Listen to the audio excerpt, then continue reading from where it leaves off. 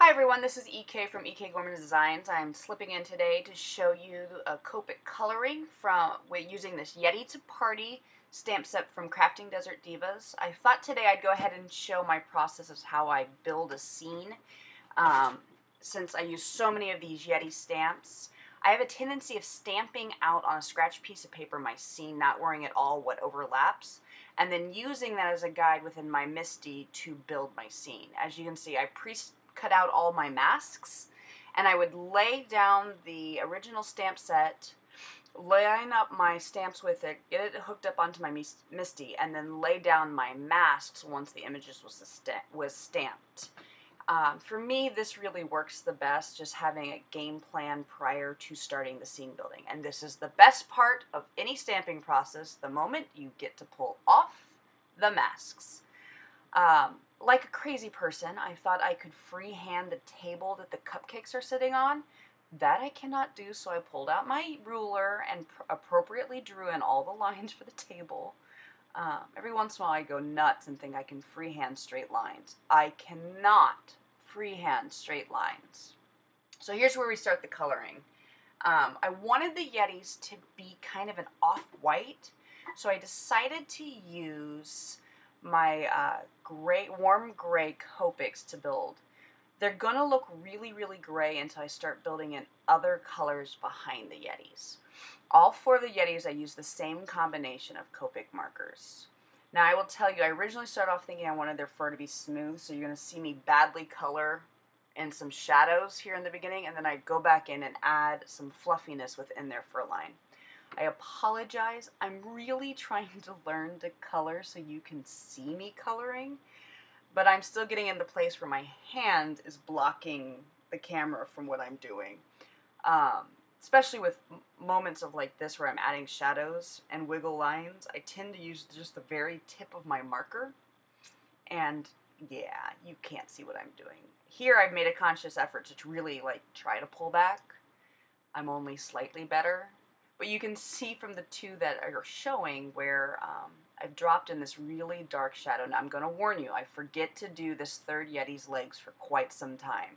I know it's going to drive some people absolutely crazy that his legs haven't been shadowed in. I promise I eventually get back to it.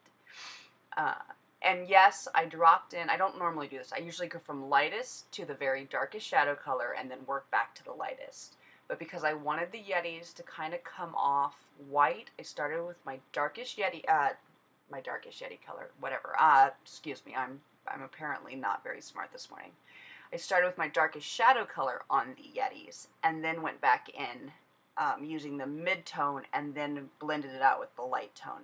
Like I said, originally, right now, without any other color on the card, they look really, really gray. But when I pop in some bright colors into the birthday stuff, you'll see that that gray tone kind of washes out and they have that more off-white color that I was going for. And you'll notice I leave actual parts of the Yeti colorless. I don't put any Copics onto it. Um, I want, oh, oh, for all of you who've been panicking about his feet, I've gone back in and added the color to his legs. Uh, I know it just drives people crazy when you miss something. They're like, ah, but you forgot, you forgot to color in that section. Yeah, I do this a lot. I miss like his hand, you'll notice I haven't, the hand holding the balloons. I've sort of missed it and forgotten it. Um, yeah, I eventually catch up to myself. It, when you've got a lot of different images, especially for those of you who don't normally color big scenes, there's so many different lines, sometimes you miss stuff. Um, you eventually catch up. Here's the W00 that I'm using to blend out the last of the color. And you'll see, again, like they're going to look gray, but they eventually kind of appear white. Now, I wanted their faces and their little paw feet and their claws and their horns to be darker than their fur. So I pulled out one step darker, or I guess two steps, because I, I only own the odd warm grays. So my shadow on their fur was the W3, but my shadows for their faces starts with the W5. I wanted to go just a little bit darker and leave zero white cardstock behind. Um, somebody asked the other day what I what ink I use. I use Memento Tuxedo Black just because it's the first one I started off with, and I've always I've never had a problem with it, so I've never ventured out to any other Copic friendly inks. I figured if it's not broken, don't fix it. And I've always been really, really happy with this Memento Tuxedo Black ink. Uh, I, I don't get smears with it at all. Um, and here we go with me fiddling with this these dark shadows on their face. I was kind of debating for a long time whether their teeth would leave shadows, and in the end, I was like, that's it. The teeth are leaving shadows. We're going to give them really fangy, snarly tooths. I didn't do any blending, for those of you wondering, on their horns. I went ahead and just filled them in with that W5 marker all the way. I figured they're so small and there's so much detail on those horns, I didn't need to worry about blending them. Um, with their faces, I took that mid-tone across most of their face because again, I wanted their little their little faces to be kind of a darker gray with their white shadowed fur. I think you're able to tell now, now that I'm starting to get these dark shadows onto their face, their fur starting to look a little bit more white with some good shadows. I will tell you today I uh, I decided to do this birthday themed card because my my horrible, awful, terrible, I can't believe I'm having to celebrate it again. Birthday is tomorrow. And uh, I hate birthdays. I hate my birthday. I'm getting old and I don't want I don't want birthdays anymore. I am now officially forever 29. It has confused my child children that I don't age. They think I'm perpetually 29. But I figured if I was going to make a card today, I was going to make myself my own little birthday card. And the thing about birthdays, while I don't particularly enjoy them, what I do enjoy is the fact that friends reach out to say hi. Friends you haven't necessarily talked talked to in a while will reach out to say hi, which thus makes the sentiment of the stamp set perfect. Life is a cupcake, beasties are the uh, the sprinkles. And many of my friends are beasties, and they know that. I'm not offending them. I, uh, I, I decided with the background party supplies I was going to use three or four colors. I was going to go with a purple, and a red violet, and then I was going to go with a green and a yellow green. So I'm working with two colors on the color wheel next to each other, and then colors are kind of across the way from each other on the color wheel, thus the color scheme worked. Um, you can't see it, but that piece of craft cardstock that had the original scene stamped out on it, I marked out all the colors I was going to use and what was going to be what color in advance so I wouldn't accidentally have two of the same color balloons right next to each other, or two of the same color somethings right next to each other. So I did pre-plan where my colors go. For those of you that know me, I don't redo cards. I do them once. If I make a mistake, I figure out how to make that mistake work. Or I own up to the fact there is a mistake and I call it call it out for what exactly it is. But I don't redo cards. I don't make a card, mess up, and then reshoot the whole thing. Any mistakes I make, I make work. Because frankly, with three kids, I don't have the time to reshoot anything. I'm moving on to the yellow colors here. Um, and again, like I said, on that craft sheet, I've pre-marked out everything so I know where I'm going and I'm not having to think.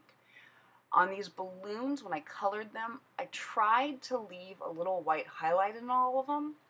And you're going to notice I fail miserably on all six balloons leaving this little white highlight.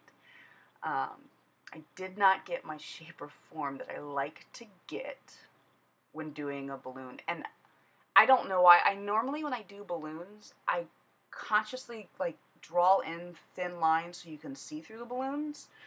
And I don't know what was going on here, but I completely failed to do that today. Like, so the balloons apparently today at this party are opaque. You can't see through them, and everybody's just going to have to accept that these are 100% opaque balloons. You're not going to see through them. Again, I only do these things once. I don't I don't go back and correct mistakes and be like, ah, I learned. No, just the next project, whatever I learned from messing up on this one, I apply to my next project. Um, by the way, I made this birthday card for me, and one of my kids proceeded to steal it and give it to one of their girlfriends. Um, so a nine year old is now celebrating with my birthday card. It happens a lot in my house. I'll make a card, I'll set it out for usually my use, and a kid will swoop in and kidnap it for their personal needs. But it's one of the nice things about being a card maker. You always have cards lying around, and people who love you know that they can come steal them, aka my family and friends. Uh, we just moved into a new house, and all the neighbors have discovered I have greeting cards lying all over my house. And I had somebody show up the other day and was like, I need a card for my mother in law's birthday. Can I please, please, please, please, please go through your stock? I need to get it out in the mail in like the next 10 minutes. I was like, Come here. These are my mother in law cards. Because, yes, I have a mother in law collection. Stuff that's really pretty and floral. Ironically, it's not stuff I send to my mother in law. My mother in law enjoys the good punny birthday cards, so she gets those. Um, I came in, I think, with what I. It's my favorite yellow green combination. Um, I think it, for a lot of people, it's kind of a weird combination, but to me, it's got the best combination. I love that 03, YG03, YG06, YG17. I wish. I don't I hear a lot of people complain about the purple combinations Copics, like that there isn't a really good combination. For me, this like light green color, bright. I'm I'm looking for like a great bright green color combination, and I just haven't found it. The other place I really struggle with color combinations is for bright pinks. I don't want them to be neon. I want them to be muted and yet bold. And for some reason, I'm still struggling to find a great pink combination. I don't know. This might, this one, this RV34, RV17, RV19 might be what I'm looking for. It still doesn't blend as well as I want it to. If anybody has any great, like, not neon pink, but bold, bright colors, and they love their pink combinations, like shoot it to me. I am looking for one. I, I keep searching for a new pink combination and I'm I'm just coming up short. Um, I don't know. The pinks bother me. I end up using R1 or R81, R83, and R85 most of the time, and it's just not bright enough. But it's such a great blend. Uh, this one's okay. The oh, I did get the highlights in the pink balloons though, and I promptly accidentally cover, colored right over them when I blended it out with this RV34, cause that's the life. It happens more often than not than uh, than you'll than you'll. Uh, ex- uh, accept. And I've got almost everything. So, see, this time I didn't try to freehand draw the floor. No, no, I pulled the ruler out right away because I learned from my mistakes. Um, I wanted a nice strong floor because I knew I was going to leave the top of this card white. And yeah, just, I was like, you know what? I'm, I'm going to draw the line for the, the, the ground, like the horizon line. You will laugh you don't really know it. There it is. I go away and I come back. My I realized this E21 marker was drying out, and I stopped right in the middle of coloring it to refill the marker and make it significantly juicier. Um, I keep my refills. There it is. That's that's the cut in which I filled my marker. So you'll notice now how much smoother the ink is going on and how less streaky it seems. I keep my refills really close on hand. I don't have all the refills I have the refills of like I order them when I dis- discover I need them.